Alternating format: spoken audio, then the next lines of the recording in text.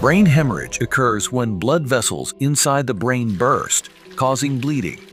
This bleeding can happen in the brain tissue itself or in the protective covering called the meninges. The meninges consist of three layers, with the middle layer being the arachnoid mater, which has many blood vessels. Sometimes these blood vessels can burst, leading to blood leaking and collecting in this area. Both types of bleeding can harm the brain. If the bleeding occurs in the brain tissue, brain cells can die due to a lack of oxygen. If it happens in the covering, swelling occurs, increasing pressure on the brain cells, which can also lead to cell death. There are various causes for a brain hemorrhage, including severe head injuries, high blood pressure, tumors, or blood disorders.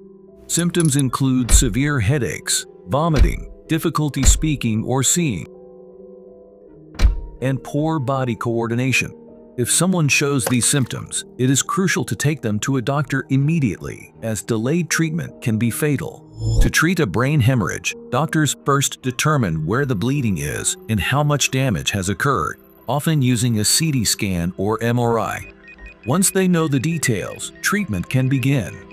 In many cases, surgery is necessary to remove the blood. During this procedure, a hole is made in the skull to drain the blood clot. After treatment, if the patient has difficulties with walking or speaking, physical and speech therapy can help them recover and return to their daily activities.